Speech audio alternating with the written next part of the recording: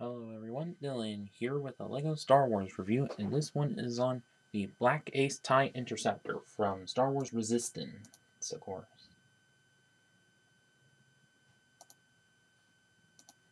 Okay, so on the front of the box here, see LEGO logo, Star Wars logo, and the uh, border that we've been seeing for quite a long time, and picture of the set flying above an ocean with the Colossus in the background, Disney logo, all the minifigs included.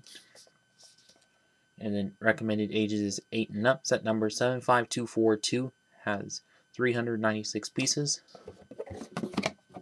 And flip to the back see it in a resting position. Also, probably on the Colossus or something. With a couple of TIE interceptors in the background or something and onto the instruction booklet, uh, which same picture as on the front of the box and everything. On the back, how to win on a survey, all the pieces that come with the set. Add for the 20th anniversary sets, of course. Add for the action battle sets. And then minifigure list. And add for Lego Life. And the last building steps, of course.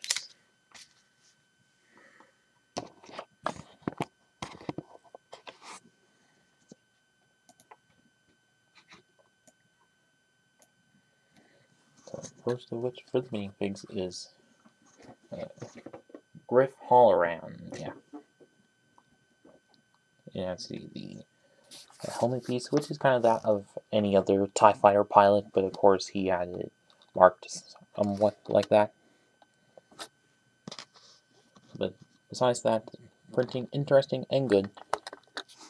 But you can also swap it out with a regular hair piece, of course and as you see, lack of leg printing, but besides that, torso print and face prints all quite good, and as you see, holding small pistol there, of course. Back torso print, but no double side face, of course, but back torso print also good. And next of which is Poe Dameron. Yeah, Poe Dameron.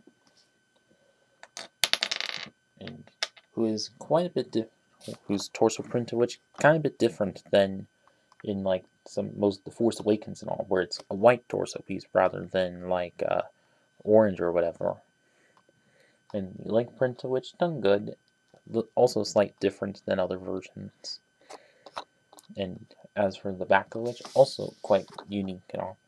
But the face print and hair piece, same as it's been since uh, Force Awakens 2015-16, of course.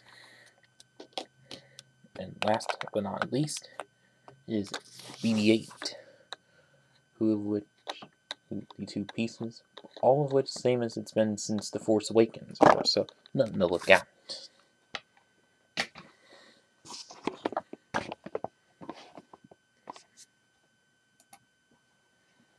So now on to the Black Ace TIE Interceptor itself. So of which quite a unique build to it, although of which not at all resembling a TIE Interceptor, even though Major Vonreg's TIE Fighter, which does resemble that, but more on that in a different video. But like for the front part, which has both of those corner bracket pieces, and of course those unique cornering kind of pieces, which put to some great use to it. And also same thing, but also some good greebling to it, and also the roller skate pieces still also used for greebling, and also plates that have uh, stickers on them, but there's very few stickers in this set, which is good. And the wings on the sides of which also kind of the same, but also using some of those corner kind of pieces, and also those uh, triangular plates. Very nice and all and for the sides which as you see has interesting little assembly covering this tan area of course with a couple of rods sticking out and of course also used as another uh, blaster of course but on the sides are of course the spring-loaded launchers which that fire like so and Also, a couple little adjusted flaps down there, of course.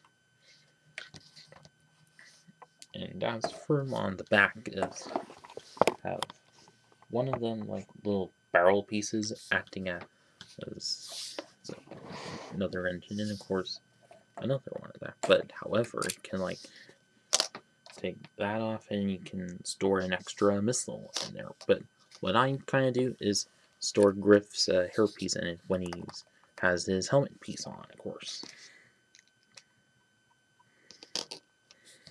But also some good snot in here, of course, like with the jacket slopes there, of course, and also from the top of which some curved slopes there, and another some more of those, of course. And unfortunately, a pair of stickers as well, as well as for that. But the front cockpit piece of which, which is one of the only printed pieces in this set. And it's kind of pretty much the same as from the uh, 2018 TIE Fighter, of course. You can flip that down and turn, pull that up, kind of like another TIE Fighter set. And of course, a couple of uh, sticker control, army printed control panels on there. And enough space to fit your Griff minifig into a course.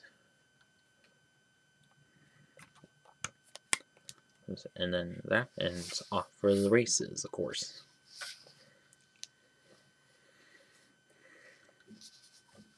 And but also good stabilization that could make it good for swooshing around the course. And so now on to it, the final verdict on this one.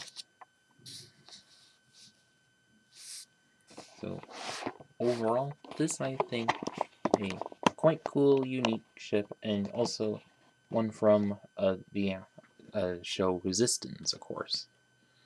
Although, if you watch Resistance, then you probably know there's like a whole bunch, like a group of different uh, racer uh, fighters, of course.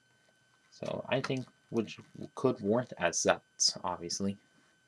But maybe they haven't considered that or whatever. But as for the price per piece, of which horrible, 300 some pieces for $50, which as some people which said that is that this and Major Vonreg's TIE Fighter, two for Resistance, are which too much overpriced, or $20 more than what they should be, because I think $3 is kind of more worth it for this. So LEGO, please stop overpricing stuff. And well, but I'm sure that by this by the time of this video, they are this is probably going to be on sale or whatever. And well, minifig selection, I think they could have included a Neeku or anything. Or even Tam or whatever. But the build of which, quite good and all. And if so, if you're looking to get this set, then I'd say, or if they still sell it where you live, then definitely get pick it up. If you see it on sale, also go pick it up, of course. And that's about it with this video, and thanks for watching.